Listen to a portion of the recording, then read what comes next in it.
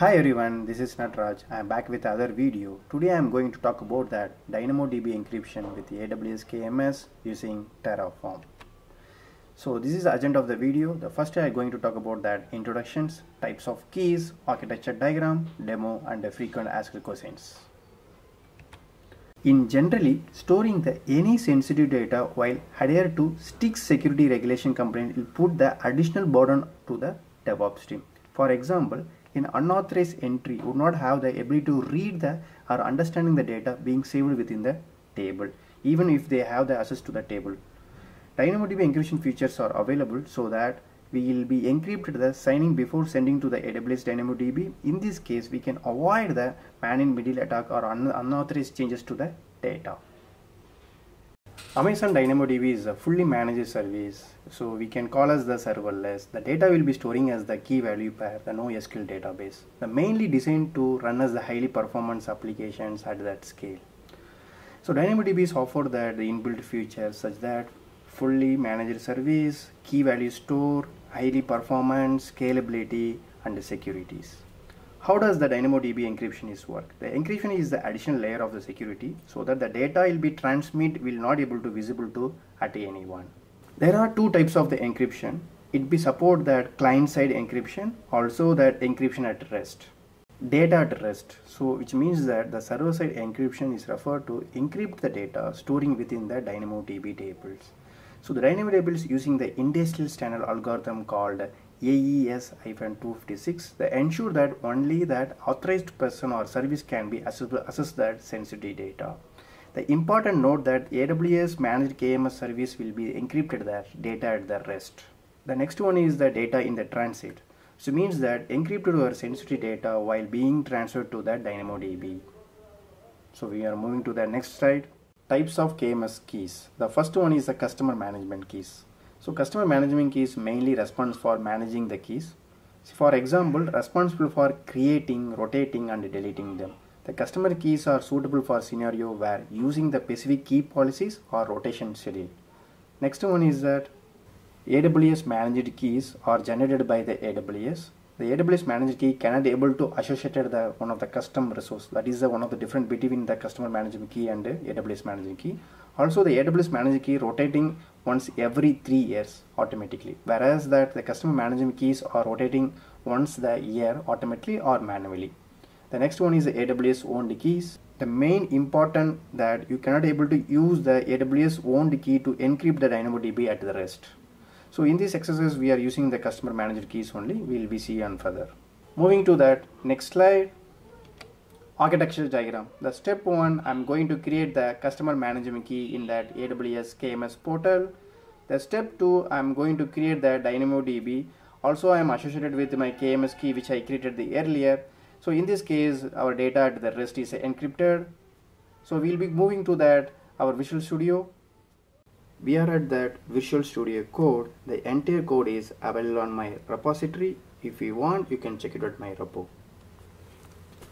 First you will be see on that main.tf file. The main.tf file, the first resource block is defining as that terraform underscore provider because of interacting with that many AWS resources. Next one is that AWS caller identity. So particular resource it mainly used to that get the data about that account ID, user ID and the ARN value. Next resource is that AWS underscore KMS key. The particular, particular resource is mainly used to create the KMS resource. So we'll be seeing by one by one that parameter value. So there's descriptions. The description is mainly used to the task definitions for identification purpose. Next one is the customer underscore master key and specs equal to var dot key underscore specs. I'm this value I'm calling from the variable for simplification purpose I'm I'm commanded that original value here. So the symmetric underscore default value is representing for AES-256 algorithm. So next one is that is underscore enable here I make it the enable this particular parameter used for to enabling for the key. Next one is that enable underscore key underscore rotations. This particular parameter mainly used for it is depends upon your requirement. If you want to make it true then it automatically rotate the once per year from the key. Next one is the deletion underscore windows underscore in underscore day equal to 7 it is mainly used for waiting period. It specific number of the days. In my case i am defining as that 7 days. Next one is the tag. The tag is used for to categorization purpose. Next parameter is the policy. In generally each key must having the policy for allowing or denying the key to be used by the users or the services We'll be see on the first policy for enabling the IAM users permissions. In this policy statement, we are providing the complete permission to that root user. For example, you can see a thing, the variable I'm providing the root. You can see the things, the asterisks I provided. So I'm providing the full permission.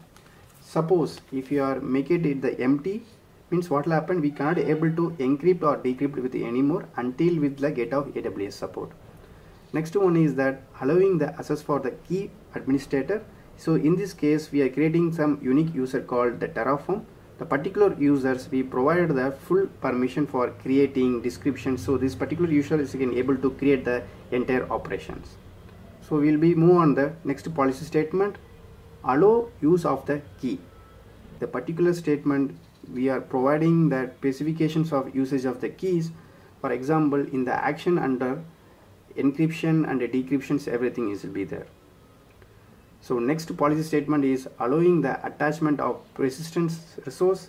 This particular policy statement allowing the listing or creating revoking granting for the key by the principal identifications. So next resource is aws kms alias. The particular resource used to identify the kms keys so we'll be moving to that dynamodb tf file so we are at the DynamoDB TF file. The first resource will be going to create the DynamoDB table. So we will be see on that then one by one the parameter.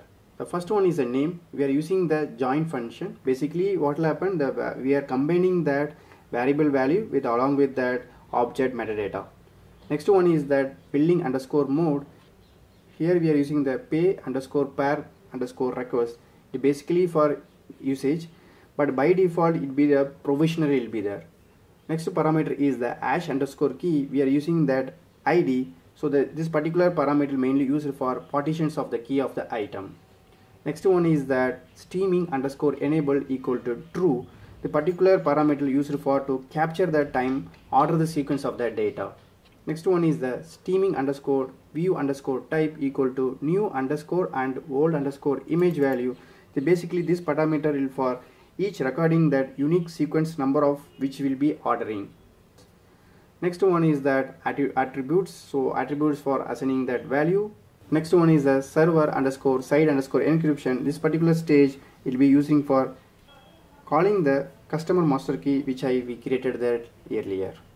So we will be moving to the terminal, we will be executing the entire Terraform code. We are at the terminal. Already I cloned the source code so I'm directly going to execute the terraform apply command.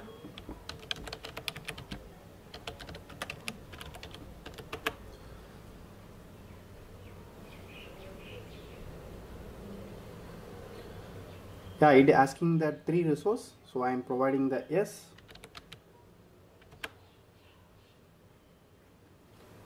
first we'll be going to create the KMS key then we'll going to create the DynamoDB table.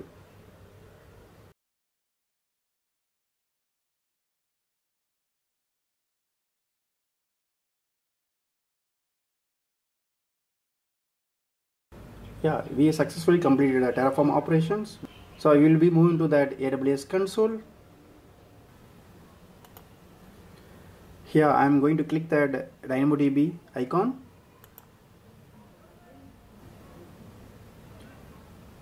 yeah I'm going to click that tables. Yeah you can see so that our successfully we created the DynamoDB table here.